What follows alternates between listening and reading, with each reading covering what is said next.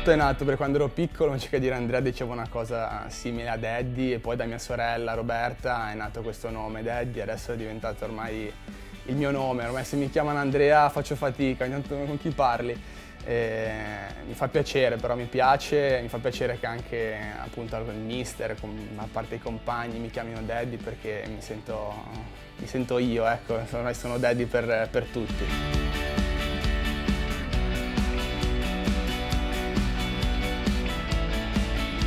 Un atleta secondo me deve avere anche dei valori eh, umani. Io ho in camera il poster di Michael Jordan e di Muhammad Ali per quello che rappresentano e che hanno rappresentato. Eh, Michael Jordan, vabbè, giocatore di basket più forte al mondo, con una, una, fantasia, un estro unico, penso unico anche per il futuro che verrà.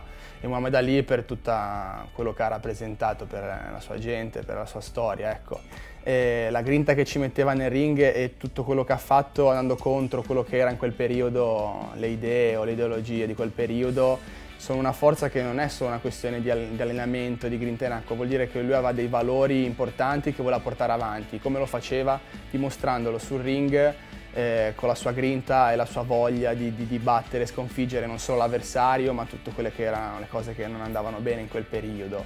E quindi avere dei valori come umano di sicuro poi ti aiutano a, a dimostrarlo anche in acqua oppure viceversa in acqua riesci a dimostrare che hai anche dei valori fuori dall'acqua. Ecco. Non so se è lo sport che gli ha dato questo o se è lui che è proprio così di carattere, però sicuramente una persona che affronta tutti i problemi nel modo corretto, senza esaltazione, senza... e quindi mi sembra che questa cosa lo stia inquadrando bene.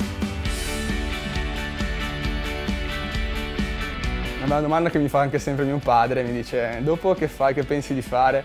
Non so bene cosa vuole fare da grande, so che ci sta pensando, perché sa perfettamente che la pallanuoto ha un termine e quindi ti devi, non, devi assolutamente programmare qualche cosa. L'unica mia speranza è la fidanzata. Un'altra cosa che gli consigliamo molto è quello di impegnare i periodi tra un allenamento e un altro con attività di studio importanti perché secondo me lo studio fa molto bene sia al, allo sport che al ragazzo in prospettiva futura. L'obiettivo che è anche quello che vogliono i miei genitori, che io con calma riesca a prendere una laurea. Per ora sono ancora giovane, spero di avere ancora tanti anni avanti di pallanuoto, però sicuramente è uno di quegli obiettivi che ho in testa.